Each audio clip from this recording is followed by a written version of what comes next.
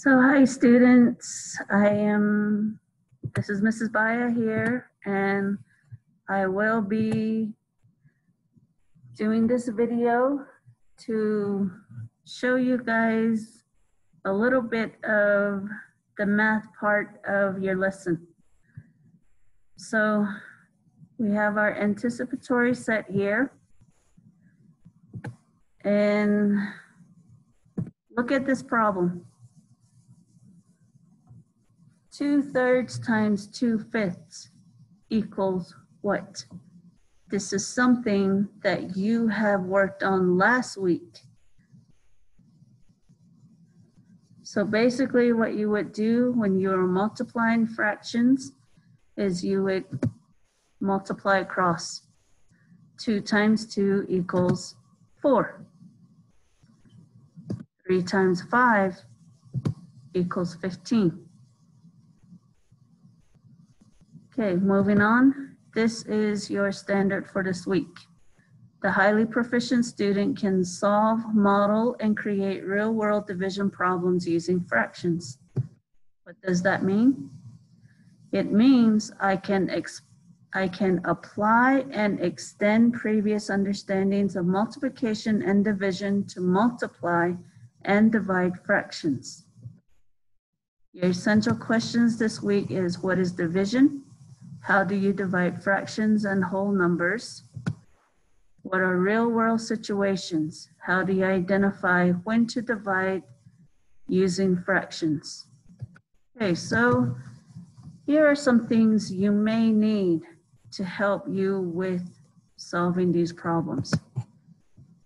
We have our, first off, just follow the red circles that you might see. We have our numbers here. 3 over 5 is the same as a fraction. It is called a fraction. Anytime we are using the fraction bar, this line that goes between the numbers, it is a fraction. The top number is our numerator. It is also known as a dividend. The bottom number is our denominator. It is also known as a divisor. So these words you would have to know in order to divide when you need to. And this is a way that you can divide this. So basically, if you were to use a divisor bar, a dividend bar, your numerator will go inside and your denominator will go on the out, I mean, yeah, denominator will go on the outside. So this is your dividend, this is your divisor. Okay, moving on, we have reciprocals. Reciprocals just means the same thing as word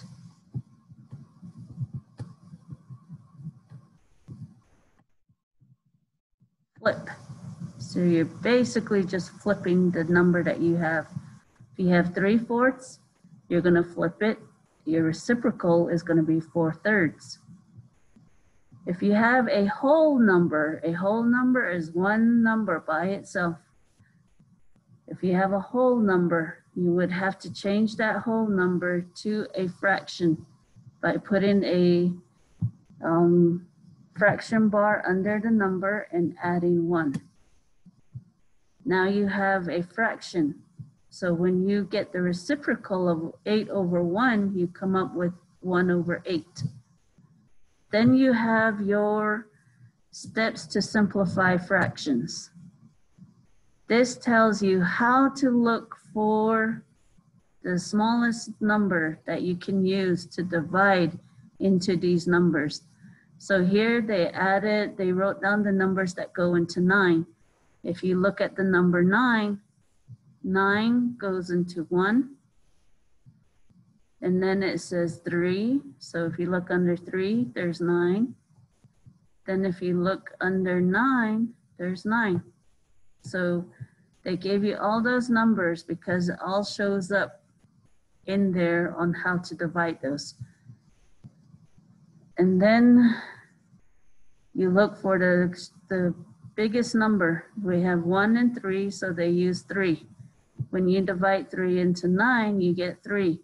When you divide three into 33, you get 11. So your answer comes up to 3 elevenths. That's your simplified fraction. The next thing is improper fraction. That is an improper fraction. It is when the numerator is bigger than the denominator. Then you have mixed numbers. Mixed numbers are these. It's when you have a whole number with a fraction behind it. So in order to um, find out what the how to divide the, I mean, how to get an improper fraction. When you have a number like this, a mixed number, you have to change it to an improper fraction before you multiply, add, subtract, or divide fractions. So what you would do is you would multiply here. After you get your answer, you add this part. Then you get your answer. This five is your denominator. So that five just goes straight across. You keep your denominator.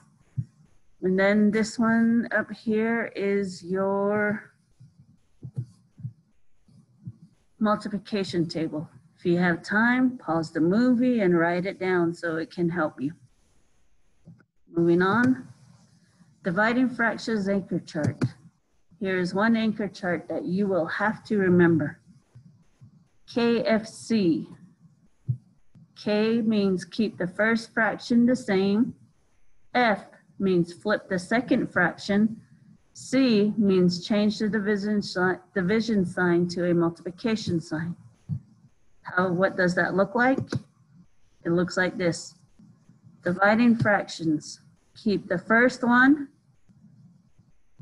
change, flip the second one, you need the reciprocal, so seven over two and then change the middle sign to a multiplication and then divide across. Seven times three is 21. Four times two is eight. I hope you guys understand this because this is what we're gonna work on. So always keep in mind KFC. So here is one problem I'm gonna show you how to do. I use KFC, you keep the first fraction. So this fraction, you keep the first fraction. 3 fifths. And then you flip the second fraction.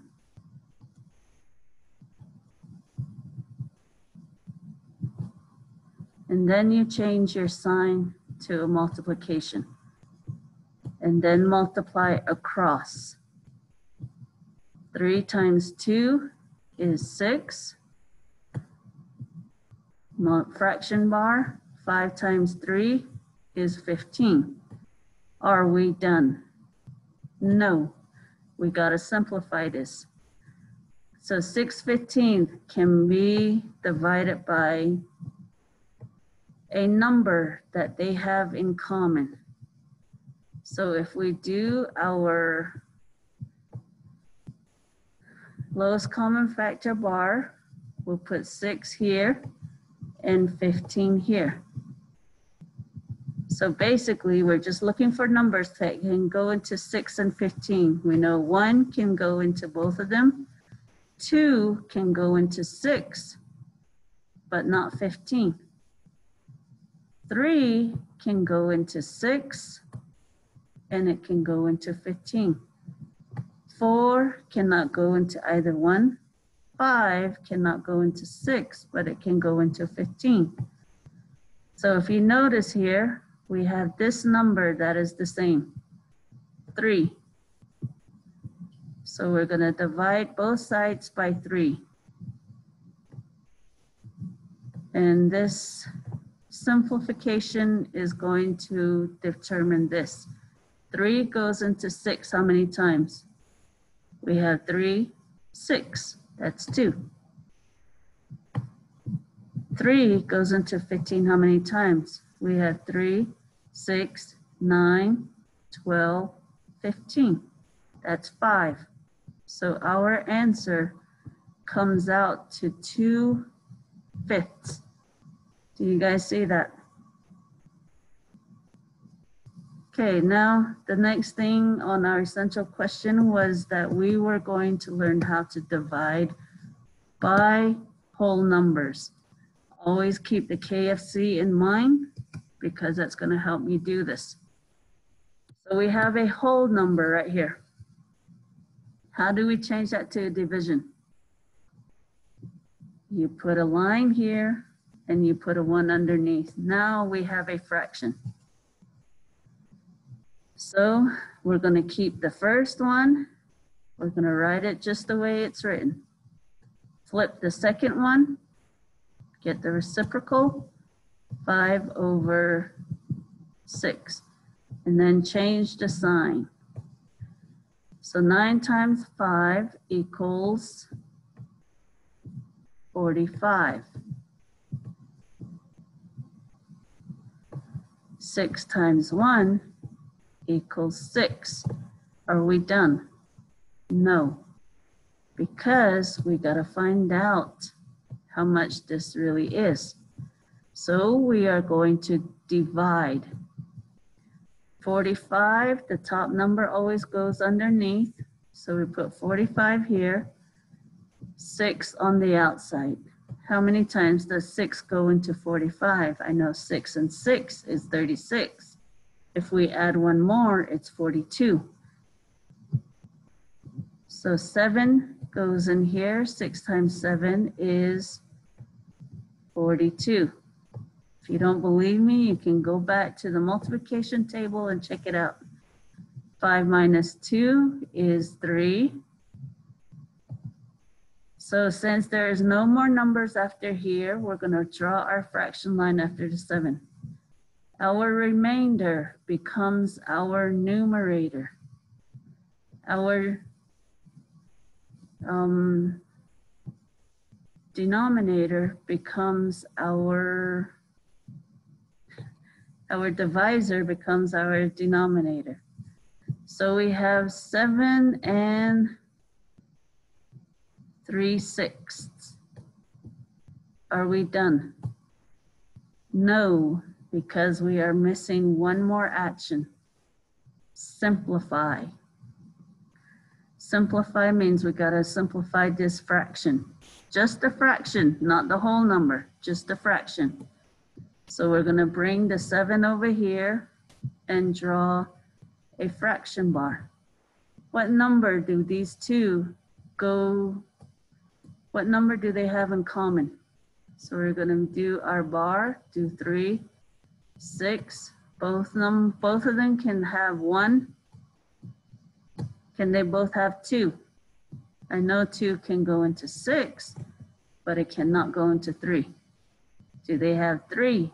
Yes, three can go into this one and three can go into this one. So there's the number that we're gonna divide the top and bottom number with, three. So three divided by three, three goes into three, one time. Oops. Just, this is supposed to be the number one. And then three goes into six, two times. So your answer is seven and one half. Okay, here we're gonna work together to do this. I know you guys remember the steps. So what's the first thing that we do? Very good. We keep the first. So we're gonna write two fifths, just the way it looks. We're gonna flip the second. Flip means the bottom number goes on top and the top number goes on the bottom. So we're just switching them around. Then we're changing our sign. Okay, when we multiply that, two times four equals eight. Five times three equals fifteen.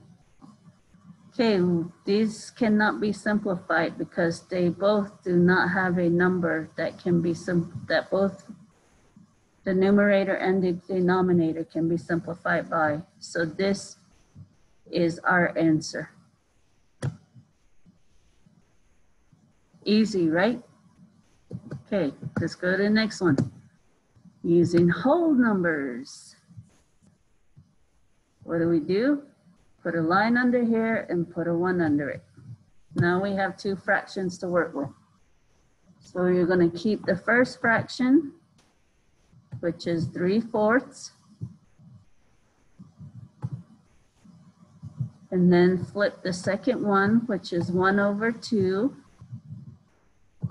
one half, and then change the sign to a multiplication. And our answer comes out to three times one is three. Four times two is eight. So neither one of these numbers can be simplified by one common factor. So this is our answer. Okay, now, see if you have any questions, ask. You can come to my class, Mrs. Bia's class, or you can go to Mr. Cruz's class and ask him. So I'm giving you permission to come to my class if you need to. Your exit ticket, this is a practice. Try it. Always remember to use KFC. Okay, and that's it, guys. Hope this makes this easier for you. And I'll see you tomorrow, okay? Bye.